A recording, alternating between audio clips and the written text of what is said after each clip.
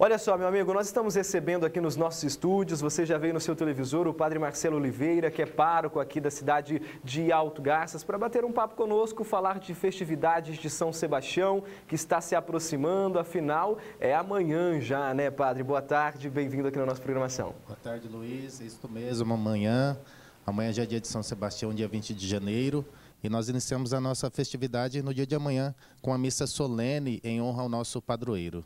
E como que estão aí os preparativos então, né? Como que vai funcionar essa missa amanhã aqui no nosso município? Vai ter procissão? Como que é? Isso. São Sebastião é o padroeiro não só da nossa paróquia, da igreja, né, mas é padroeiro da nossa cidade. Então nós vamos ter uma missa amanhã, começando às 6h20 da tarde, 6h20 da tarde, saindo daquela imagem na saída para Alto Araguaia, ali na chegada da nossa cidade, indo até a igreja matriz de São Sebastião e missa lá às 7 horas da noite. E por que, padre, que é importante a comunidade católica estar sempre lembrando né, destes santos, principalmente São Sebastião, que é padroeiro aqui do nosso município? Isso. O São Sebastião, nosso padroeiro, ele é invocado como aquele protetor contra a guerra, contra a fome, contra as pestes. Então, assim, na nossa região, região agrícola, nós somos produtores de alimento. Se a produção de alimento para, a gente vai passar por uma situação de carestia, de falta de alimento, até mesmo de fome. Então, São Sebastião também é o nosso protetor em relação a isso e ele é protetor também dos animais do meio rural. Então, para toda a criação, é, quem produz tem lá a sua criação de boi, de ovelha, de, de galinha, de, de tudo que é animal para a, a, a criação, ele também é o protetor. Então, nós fazemos esta celebração todos os anos, dia 20 de janeiro, nos recordando do martírio de São Sebastião, de como ele foi morto. Foi morto defendendo a fé, a fé em Jesus Cristo. Voltando a falar de programação da comunidade católica para essa festividade, padre, é, tem também, né, é importante, acabei de me lembrar aqui, dos textos cantados que passam pelas fazendas aqui do nosso município. Gostaria que você falasse um pouco para a gente quanto é isso. Isso. É, a o terço cantado, é uma devoção que não é exatamente aqui da nossa região, né? Mas é uma devoção que vem muito ali da região da Bahia, ali do, do Nordeste, nessas né? rezas cantadas. Mas que chegou aqui, porque no Mato Grosso é o estado onde vem gente de tudo quanto é lugar, né? Inclusive, as primeiras levas de imigrantes foram o pessoal lá do Nordeste, da Bahia. Eu tenho meu avô, por exemplo, no início ali de 1930, 1920, ele veio para cá, né? Baiano, veio para cá, aqui para a região de Rondonópolis. Então, veio junto com ele muitos, muitas pessoas de lá.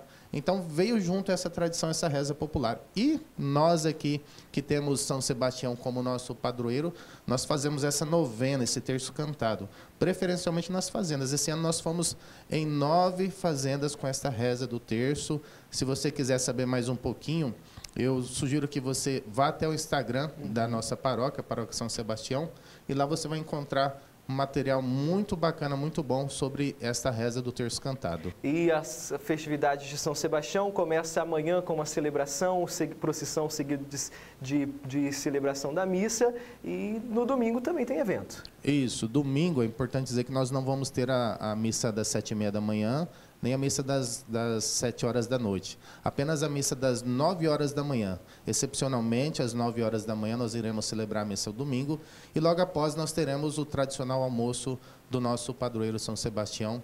Aí também com atração musical, com leilão, com, com doces, com o brinquedo para as crianças, com tudo que a gente está acostumado a ter. O salão paroquial já está tudo preparado aí para receber a população. É, nós estamos quase pronto lá terminando a decoração, mas no domingo já vai estar tudo certinho. E o valor, padre, deste ingresso, como que está o valor, como que funciona para comprar, como que é? Esse é o sistema self-service no valor de 30 reais, né? com 30 reais você adquire o seu ingresso. Crianças até 7 anos de idade, acompanhadas dos pais, não pagam, então o pai pode ir lá com 30 reais e o seu filho menor de 7 anos vai poder, vai poder é, se fartar lá no almoço. Bebidas a 5 reais, pastel e cachorro-quente a 10 reais e os doces também a 5 reais. Bom, e vai ter sorteio aqui na nossa programação, né? De um ingresso, é um ingresso que nós vamos sortear? Dois ingressos. Dois ingressos, rapaz. Soiane, então pode mudar aqui pra gente para sortear dois nomes logo, ó. Dois nomes. Acho que a gente já pode fazer esse sorteio, né, padre? Podemos fazer, sim. Então vamos lá, pode colocar na tela toda. Você já está vendo aí, a Soiane vai fazer o sorteio de dois nomes aí para você agora. Vai lá, Soiane.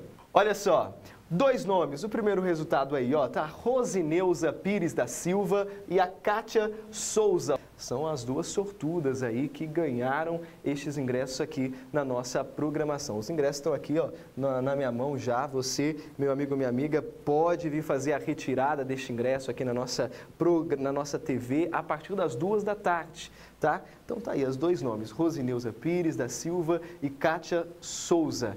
Padre, eu deixo o espaço aberto para o senhor aí ficar à vontade, mais uma vez agradecendo sempre a parceria da paróquia aqui com a nossa programação e sempre estaremos à disposição, viu? Eu que agradeço, Luiz, dizer aí que aí tem cinco ingressos, os outros três é aqui para a equipe, para oh, você, para os meninos aqui, tá? E convidar toda a população para que participe da Santa Missa no sábado, amanhã, às sete horas da noite, lá na Matriz, começando com a procissão. E depois no domingo, que nós possamos todos nos alegrar ali na festividade no almoço do padroeiro, a partir das 9 horas da manhã com a missa, 10, 10 e meia com a, ali o almoço já no salão.